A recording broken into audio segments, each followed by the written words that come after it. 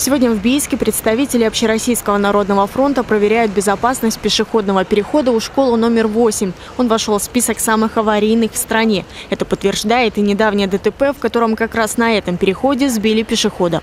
Накануне активисты ОНФ проверяли переходы возле барнаульских школ. Одна из них на улице Песчаная. Жители постоянно жалуются на то, что эта дорога для детей небезопасна со стороны Красноармейского вот до вот этого момента, да, до вот этого момента песчаной улицы, детям ходить вообще не, невозможно в школу. Тротуар просто обрывается. Вот такой сюрприз от дорожных рабочих уже много лет наблюдают сотрудники и ученики лицея номер 122. Заасфальтировать нужно и площадку перед входом.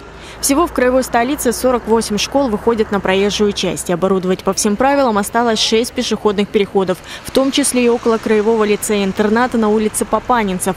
Здесь, как и на Песчаной, на переходе нет перильных ограждений и специального мигающего светофора, который бы привлекал внимание водителей.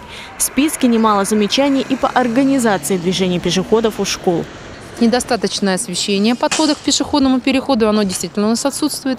А, значит, э, сделали э, как одно из замечаний э, отметили избыточное скопление воды, потому что здесь действительно построен был валик, но этого недостаточно. А, значит, отсутствие тротуаров.